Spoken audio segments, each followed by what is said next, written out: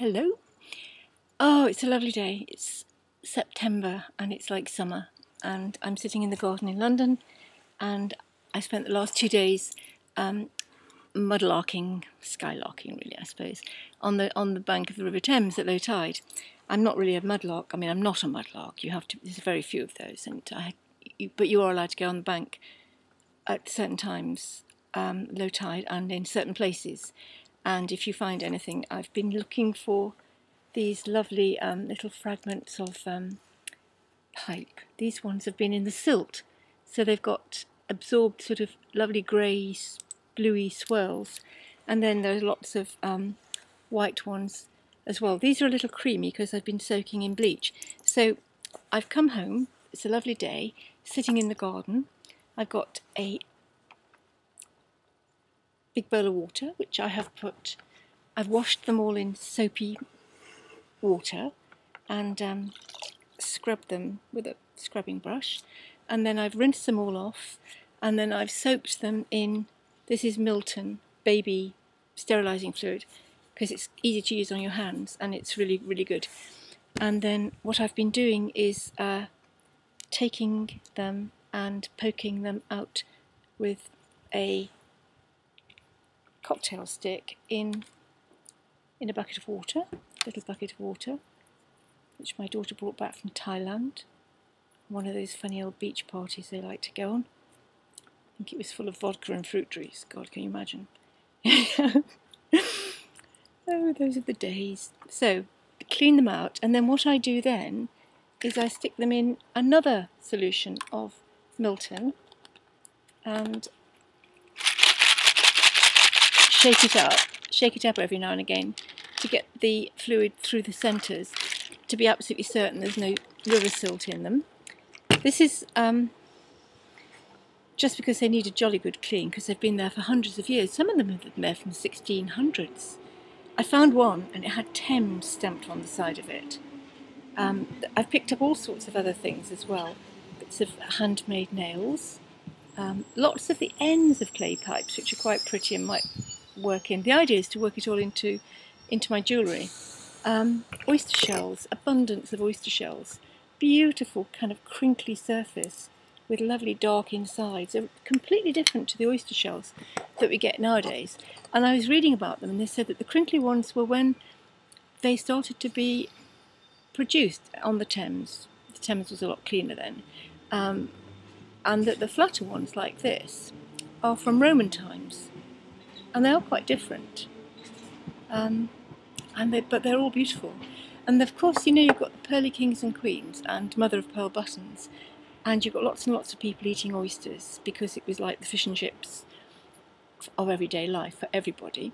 And then I've been finding chunks of bits of mother of pearl, quite, you know, hefty bits, which will make beautiful additions in jewellery. Um, and I've been cleaning them off. Some of them come already with a little hole drilled in. Now, whether that's been done by a creature of the river or the sea, because these probably have been brought, these some of them are big lumps of um, mother of pearl. It looks as if they've been chopped into little pieces.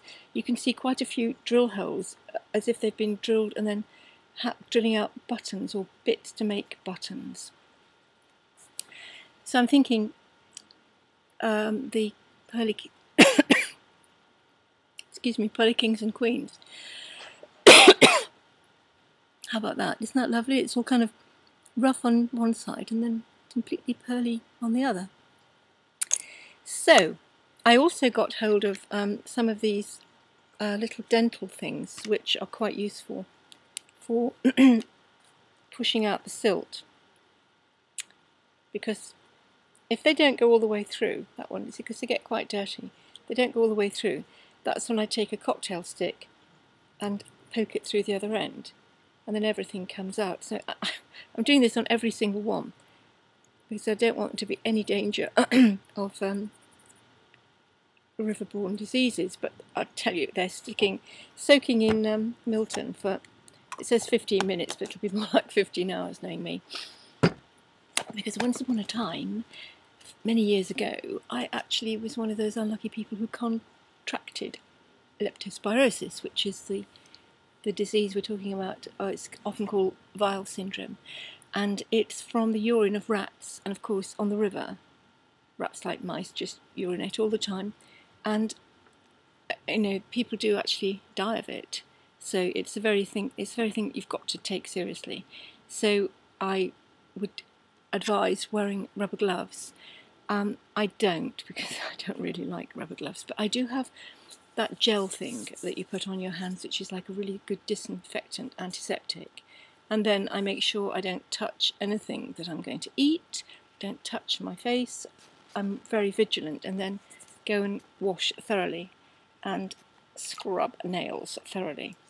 And then that whole thing then is to come back and clean every piece meticulously because they are so beautiful. I mean, they are just absolutely lovely. Beautiful, tiny little swirly bits you get in them. And the patterns are so sweet. And I know that they're going to make beautiful additions to those squeezed paper beads that we were making before. So, I've also been finding little bits of pottery, not that I can find any here, and a few pieces of um, kind of iridescent glass. So, I'm really looking forward to adding them to necklaces, earrings, and bracelets, and to setting them into bangles.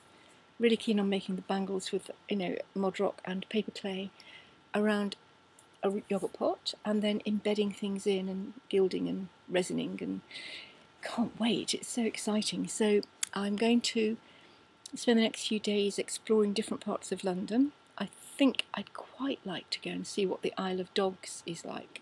I have never been, but there used to be a lot of dockyards up there. Well, there still is. It's probably completely 21st century now, but it will be nice to go on a day like this. There's not a cloud in the sky and see what can be found. And then the other fun thing is to come home and Google things and find out if certain shaped pipes, because I found quite a few of the pipe heads too, one of them with beautiful um, impressions in from going in a mould, um, with the lion's rampant and the shield, a shield of some London, something or other on it. And I shall you know, research that and find out what it is. So it is such an exciting adventure. Every day is an adventure. It's fantastic. So whenever you get to watch this little video, whatever time of the year, whatever time of the day, whatever part of the world you're in, I'd like you to be heartened to go out and see what you can make that's beautiful from things that people throw away. It is a big adventure.